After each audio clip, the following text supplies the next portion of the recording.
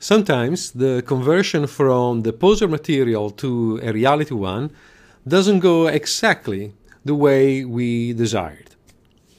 And that is one of the reasons why we have a fully featured material editor in reality.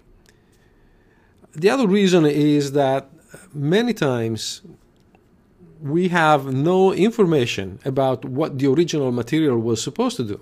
So, for example, in Poser, uh, there is no definition of a glass material. All materials are generic. So, when an artist wants to define a glass material in Poser, will just create a generic material, and uh, the material will be given a transparency of some kind, either a transparency map or just straight a constant value. Now, that is not really how glass is defined in the real world, but Poser doesn't have physics based materials. Uh, LuxRender does, and reality is able, is designed to uh, convert the materials from one type to the other. Now, when the f- material is first converted from poser, reality doesn't know that that material was supposed to be glass. The only thing they can find is a transparency level. But that is not enough to provide the hint about the type of material. So, the material editor in reality is designed to allow us to change a material from the generic type of glossy to anything we want. So if we want to change this to be the type glass, we can do it easily. And that is the other reason why Reality has a fully featured material editor, which is in many regards as powerful as something like the node system in Poser, but simpler. But it's a completely different system and it's based on a few different principles and we are going to take advantage of those principles and those designs uh, in this demonstration. What i'm going to try to show you is an interesting case. Here we have a texture uh, of from a package called sunmi i think. Um, i hope i'm pronouncing it correctly. Uh, anyway, you can see the name right here, and it is a texture package, a skin for Victoria 4 that is available at Renderosity. Uh, one of my customers brought up this issue because the skin didn't come through correctly, which was interesting because generally skin materials uh, are converted very uh, well in reality, but this one is uh, a very specific material. Let me show you how it's defined. If we go into the material room and we click on the skin, now we can see that there are a lot of nodes in this material. This is a very, very complex material with a complex operations, selections of the X component, Y component, Z component, all these things. And uh, strangely enough, the material doesn't have a specular map, which would have benefited a lot. But that's a completely different story. Um, we're going to focus on the conversion. Now, if we look at the conversion of this material, in reality, it's not so good.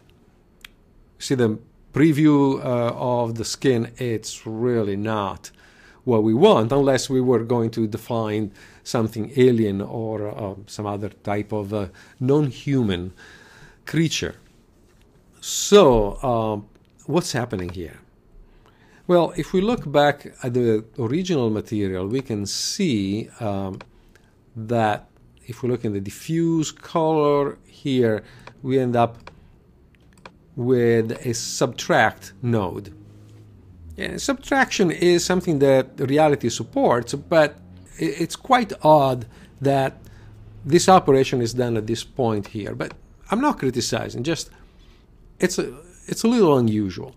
So what reality does is to you know find this node and finds this subtraction and then tries to find what's attached to the node, you know, following these uh, two noodles, you know, the orange and blue one. But you know, there are a bunch of nodes that are attached to this that really don't make much sense when converted to lux. And so we end up with a conversion that is really not meaningful. So let's examine it. The point here is do we really need to understand this? Not quite. It's, we don't have to become geniuses in, in uh, solving the puzzle. Not at all. There is a very simple solution, and that's why I'm here showing it to you. Uh, but we start with the skin face, and we look at the diffuse channel. The diffuse channel is what gives the color to a material. Okay, so we don't care about the specular and all the other stuff for now. We want to solve this problem.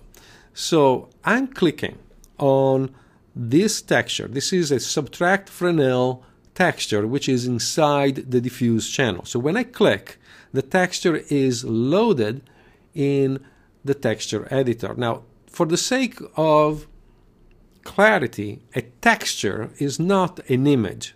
I know the in Poser often those two terms are uh, equated, but a texture is a pattern that is projected on a surface. That is the technically correct definition of a texture. A texture is a pattern that is projected on a geometric surface. So we click on this texture and it's loaded in the texture editor. And here we see that it is called Subtract Fresnel and it's of type color math. It's a texture that uh, performs mathematical operations on two texture, texture A and texture B. In this case, we see that texture B is subtracted from texture A.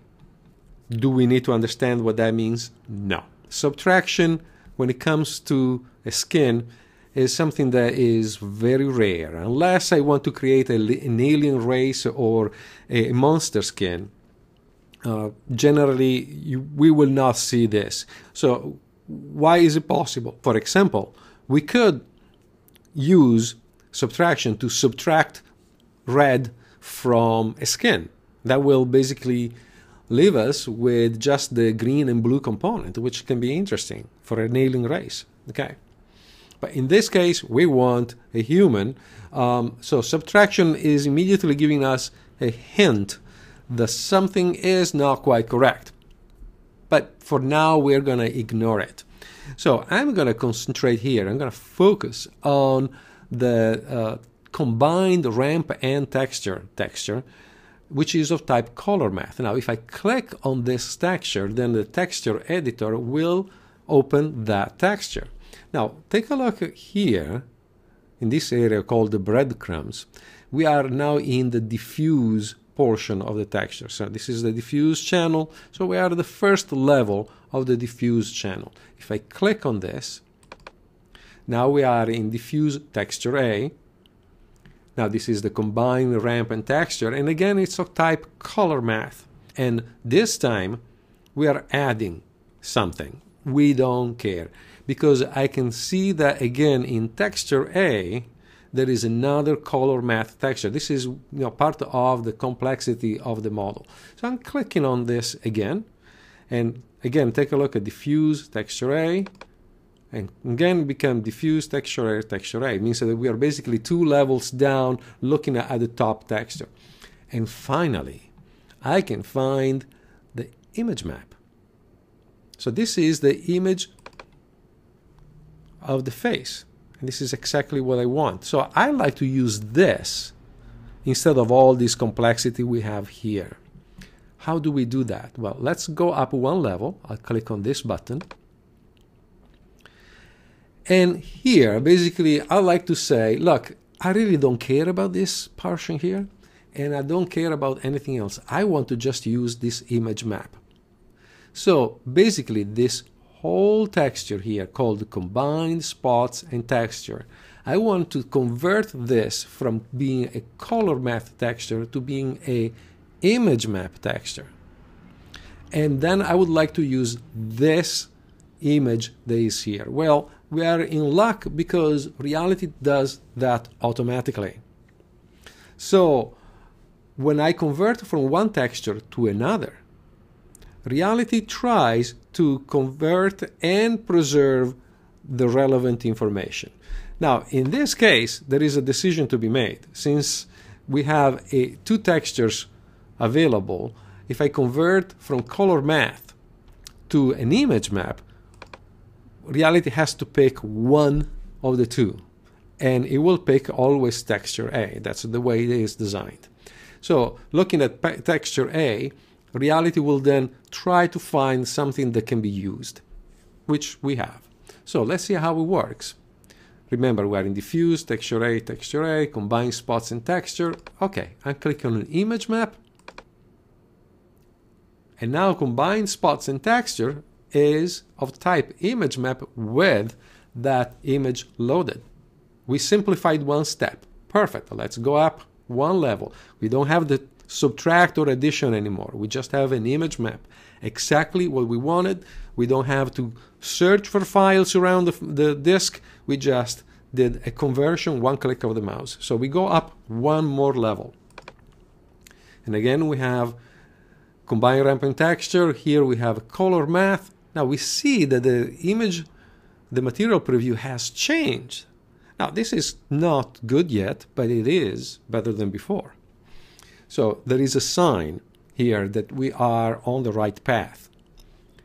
Again, I don't care about this portion here. I just want to preserve this. I click on color math, on the texture type actually, select image map, and again I simplify this texture. Perfect. Now I go up one level, and we are at the first step here. Yeah, we can click on the diffuse channel here again to confirm it's the same, nothing happened, it's exactly the same texture. And here we have basically this texture minus this color here. I could just select none and be done with it.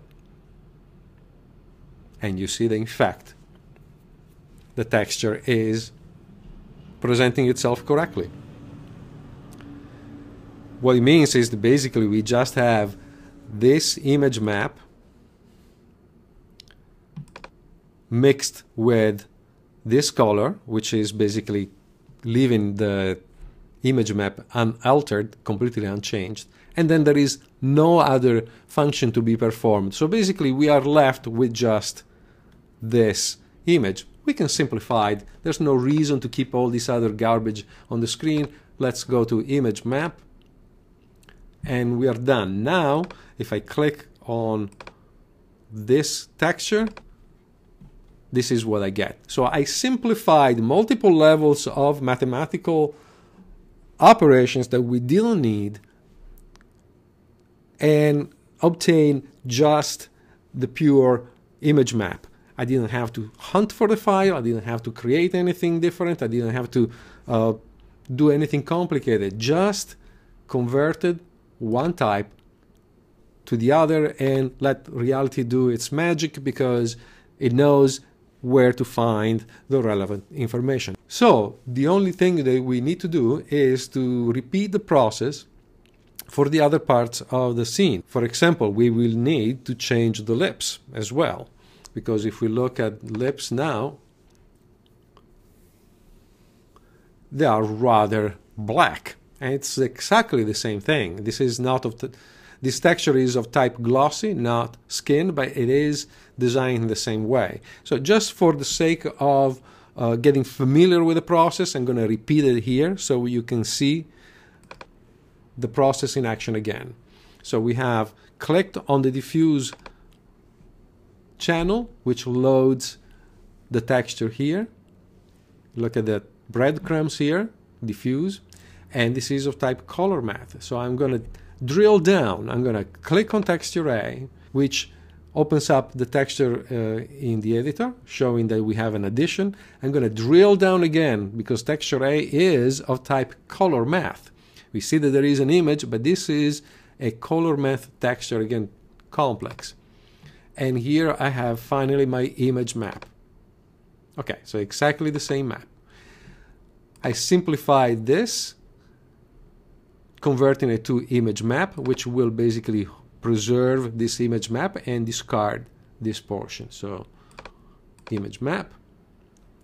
Then I go up one level and now we see that my texture of type image map is here, but it is added with another texture that I don't need. So I'm going to simplify this. Perfect. And then I go up one level. And again, I'm facing the same situation. So I'm going to change this to image map. And now I have the right type of texture. We are in the first level of the diffuse channel. So I know that I don't need to do anything else. I don't have any other levels. I click on the refresh preview and here we are. So now at this point I can just change the parameters. You know, I can make this a little more shiny, which will give me a nice highlight on the lips. In the same fashion, I can go to the skin face material that we changed before and uh, increase the glossiness. And the other thing is I want to check my hair mask here because this texture needs to be completely white, as white as possible, except for the eyebrows. So the, the purpose of this texture is to basically just mask the eyebrows so that those don't become washed out by the subsurface scattering effect. And um, the way I do this, the way I reach that goal is by acting on the gain. Now, right now, reality has done um, an estimation, just basically a guess of uh, what we should do. This is all good, but I will need to basically uh, increase this. And I change the gain, I see that I'm losing detail in the face, which is what I need.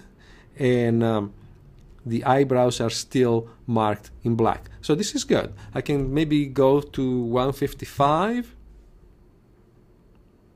that can be used. we still have enough detail on the eyebrows. This is a good hair mask.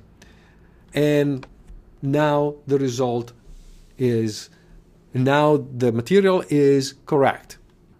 I hope that this tutorial has helped you understand more how to convert and manage the materials in reality. My name is Paolo Ciccone for PretA3D. Thank you for watching.